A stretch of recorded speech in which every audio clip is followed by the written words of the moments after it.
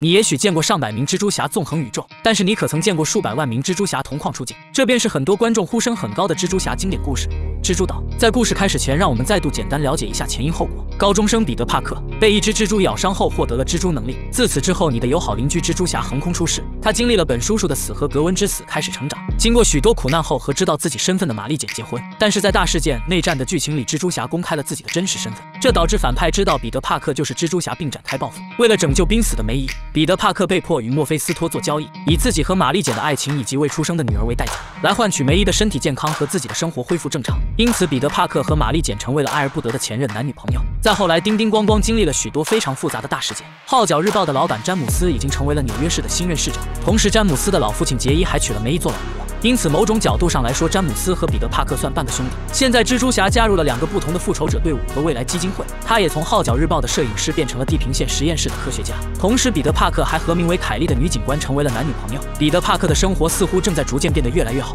但潜藏的危险也在阴暗的角落快速发生。拿好糖炒栗子蛋挞铁板鱿鱼干炒牛河椒盐大虾，精彩故事马上开始。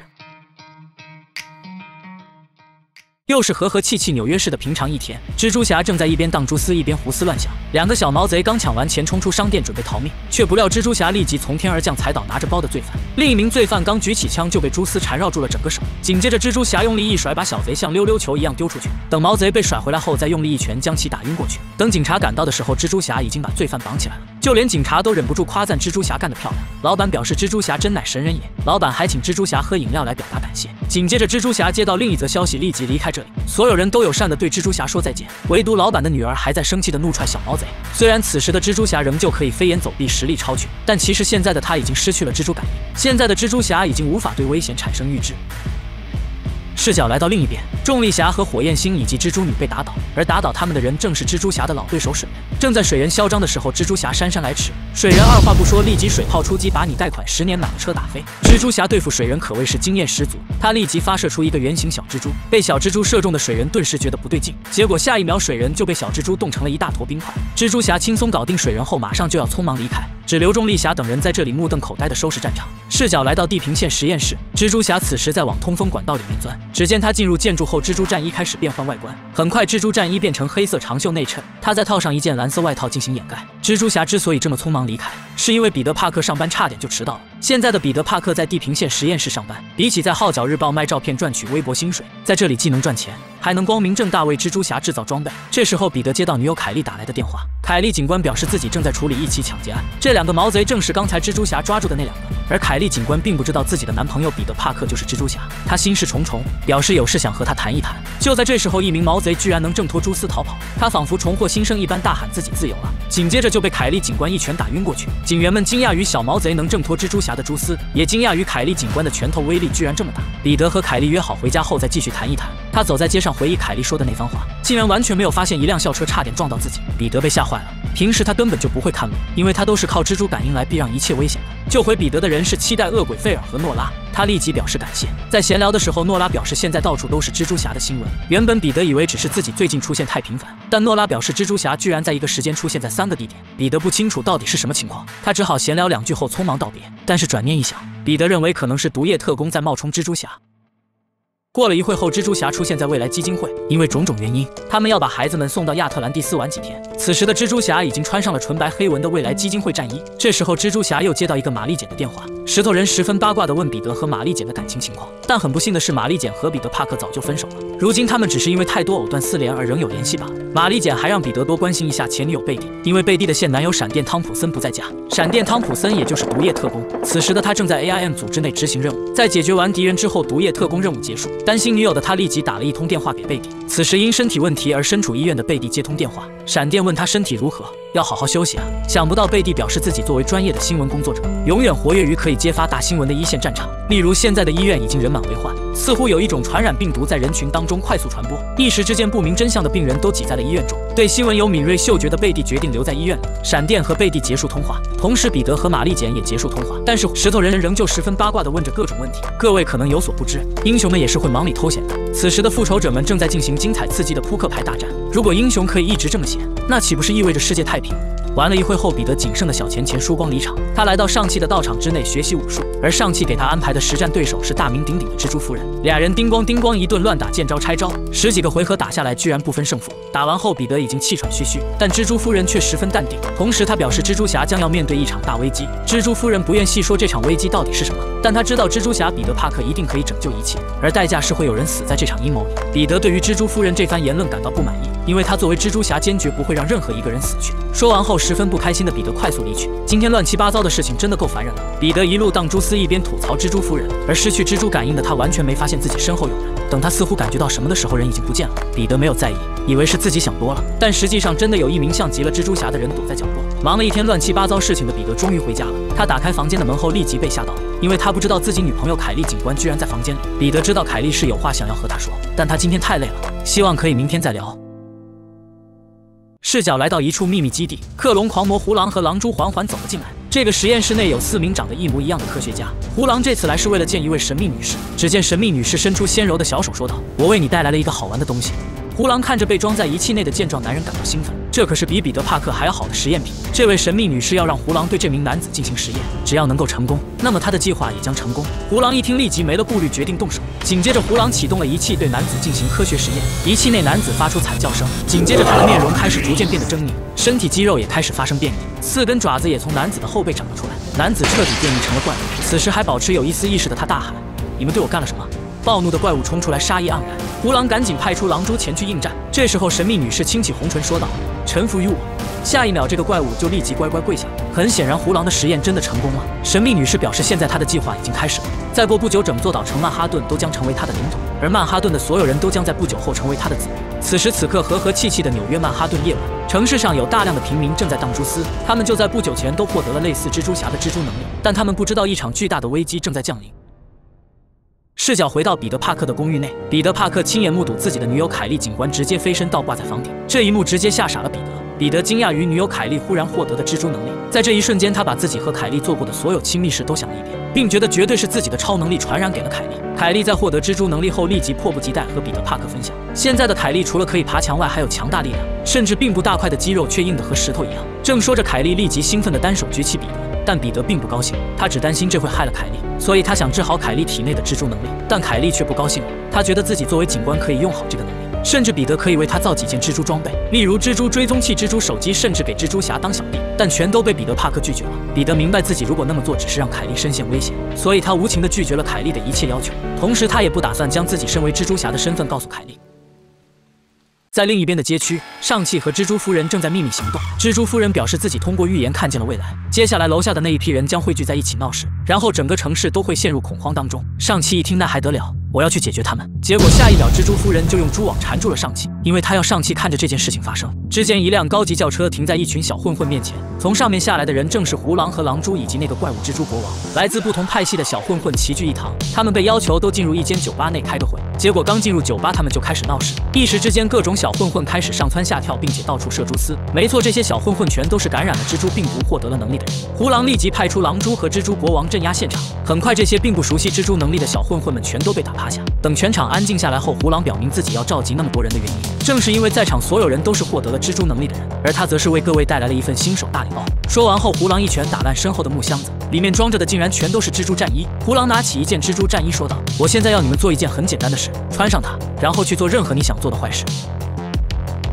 时间来到第二天，此时和和气气纽约市到处都是蜘蛛侠，高的、矮的、胖的、瘦的、黑的、白的、黄的，各样都有，并且他们不是在行侠仗义，而是在烧杀抢掠。玛丽简看到这满大街的蜘蛛侠时，整个人都吓傻了。这时候，他看见一名假蜘蛛侠抛起一个报刊亭，玛丽简眼疾手快冲过去救下差点被砸中的小孩。紧接着，身穿生命基金会战衣的蜘蛛侠出现，玛丽简以为是彼得·帕克来了，却不料这也是一名假蜘蛛侠。就在这危急关头，石头人忽然出现，并一拳打飞假蜘蛛侠，然后看见一大群英雄从斗篷的传送门里冲出来。这场暴动已经引起了复仇者们的注意。神奇先生问玛丽简怎么样，玛丽简表示自己没事，可他很好奇彼得现在在哪里。此时的华盛顿大桥已经被封闭，不仅如此，整个纽约市任何可以进出的地方都被封锁。新闻说，全纽约出现了一种蜘蛛病毒，被感染者会获得类似蜘蛛侠的超能力。坐在车上的凯莉和彼得通过广播听到了消息，还听到了蜘蛛感染者在城内暴动的消息。凯莉立即跑到车顶，戴上警徽。彼得问凯莉这是要干什么？凯莉立即从手腕射出蛛丝，紧接着他一拽蛛丝蹦起来，兴奋地大喊：“你们的友好邻居蜘蛛警官来了！”彼得看着凯莉喊出这句话后，才明白自己平时喊这句话有多羞耻。他转身给出租车司机丢下车费，赶紧找个没有人看见的角落戴上头套，然后化身为友好邻居蜘蛛侠，追着凯莉而去。在纽约事故指挥中心内，纽约市长詹姆斯正在指挥部署，不仅海陆空都要派遣人员镇守，防止病毒传染出去，还要派出自己引以为傲的蜘蛛巡逻队去逮捕那么多蜘蛛侠。他对于自己创建了蜘蛛巡逻队这件事感到无比自豪。此时，在战场上各路英雄正在手忙脚乱的战斗，几百个乱七八糟的蜘蛛侠出现，仅凭他们这几个英雄是根本打不过来的。现在他们急需大量帮手来镇压数量庞大的假蜘蛛侠。就在这时候，彼得当着蛛丝赶到了战场，却不料刚说一句话就被惊奇女士一脚踹飞出去。他立即站起来表示自己是真正的蜘蛛侠。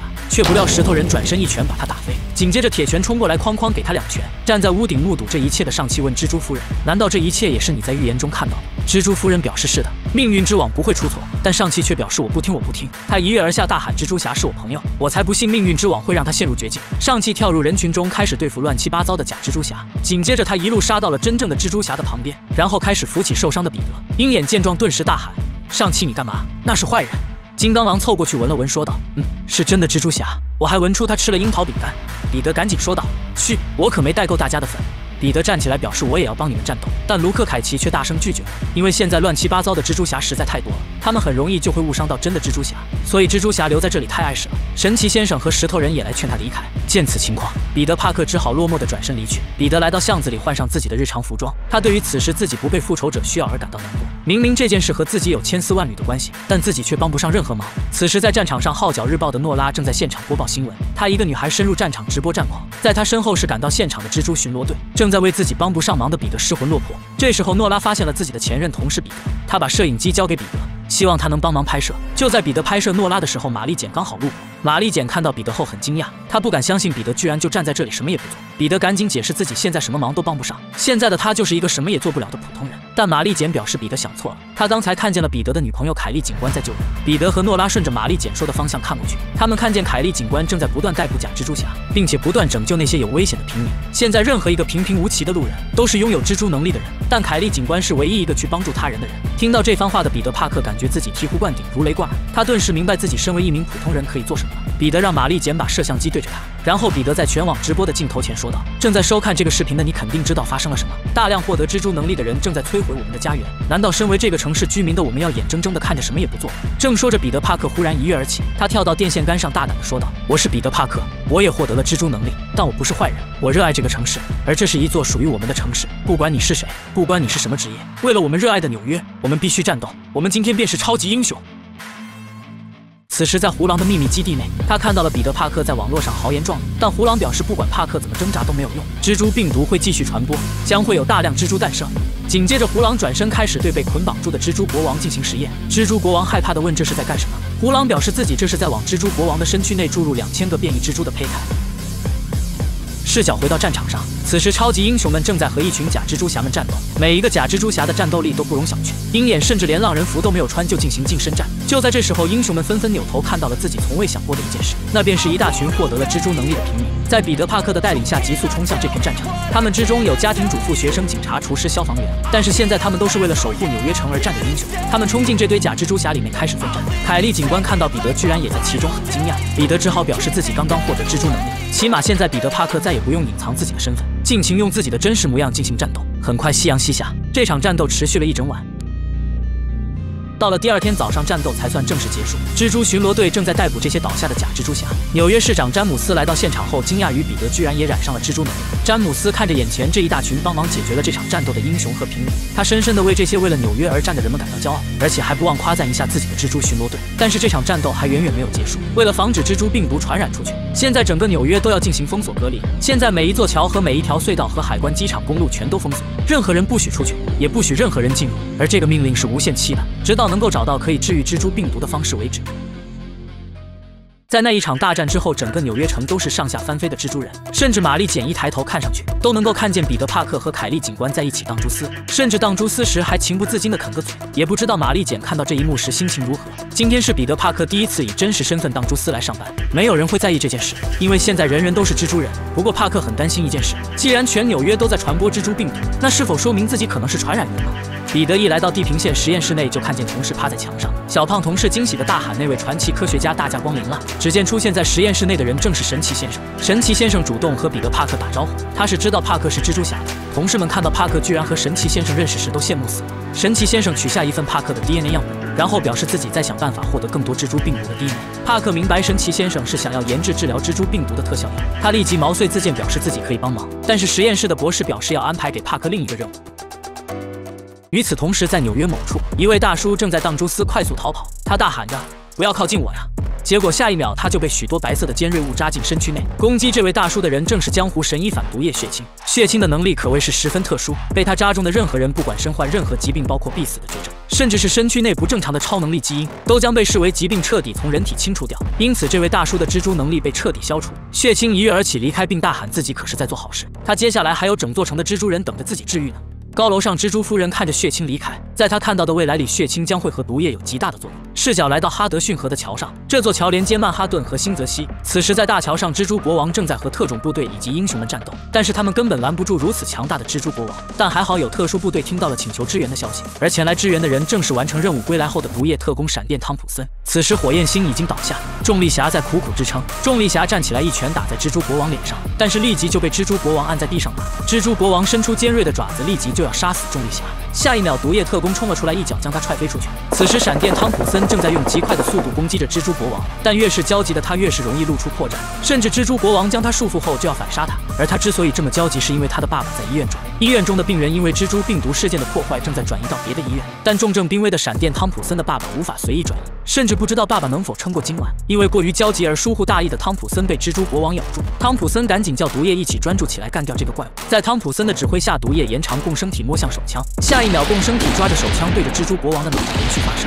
才终于让汤普森的脑袋没被咬烂。闪电汤普森好不容易和蜘蛛国王拉开距离，但蜘蛛国王瞬间冲过去靠近他，来不及躲闪的汤普森被抓住脚踝，紧接着汤普森被抓起来重重砸在一辆坦克上，汤普森被砸得奄奄一息。还好毒液能够治愈汤普森的伤势，蜘蛛国王则是暂时被特种兵的火力吸引。这时候汤普森注意到跪在地上喘气的重力侠，汤普森赶紧过去扶起了解不多的重力侠。重力侠也很惊讶，我一个十五线英雄，你咋知道我的？汤普森表示不重要，说罢把他用力丢到高空中，并大喊：“快秀一下自己的能力！”